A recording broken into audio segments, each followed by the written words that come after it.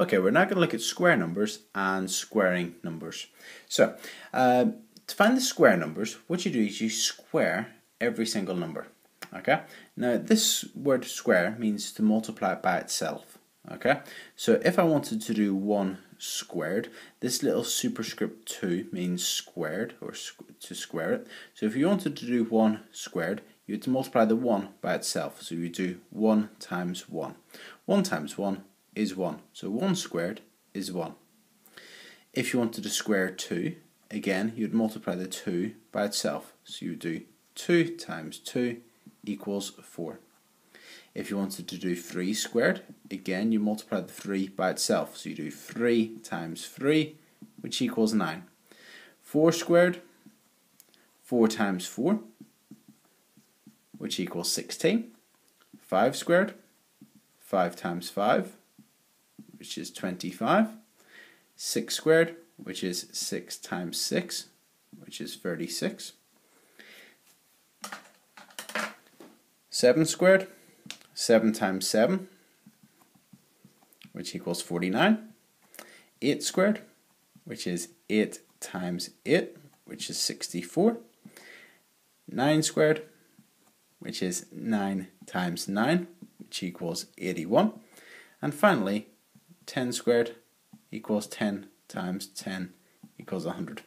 Actually, I know I said finally, but it's useful to know the next two as well. 11 squared equals 11 times 11, which equals 121.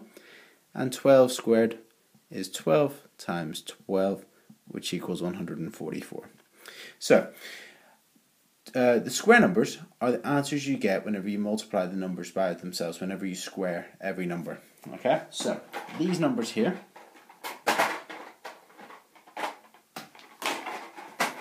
These numbers here 1, 4, 9, 16, 25, 36, 49, 64, 81, 100, 121, 144, and carries on forever are what we call the square numbers.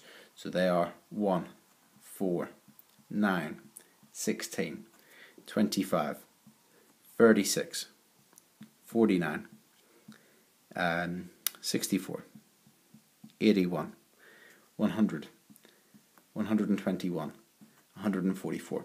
It's useful to know these square numbers off by heart, so I would strongly recommend learning these square numbers.